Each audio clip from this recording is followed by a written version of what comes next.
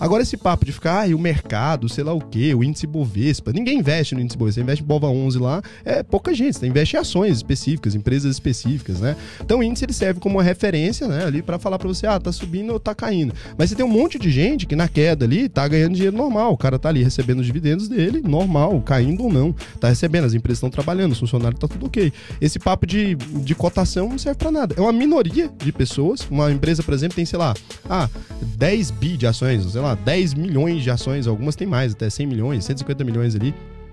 Você olha ali o que movimentou, o que definiu o preço, a última negociação. Então eu pego e falo pra você: ah, essa daqui, ó, uma ação da Insider agora, custa 50 reais. Você compra por 50 reais. A gente pega 50 reais, fala que isso é o valor de mercado da empresa, multiplica pelo número de ações ali, é isso. Então é 50 reais agora. Foi uma negociação, pergunta pro dono se ele quer vender esse valor. Uhum. Então ele não quer. Então você não tá negociando, não é o dono ali, tá negociando um cara que tem uma ação minoritária e tá calculando o valor da empresa por esse preço.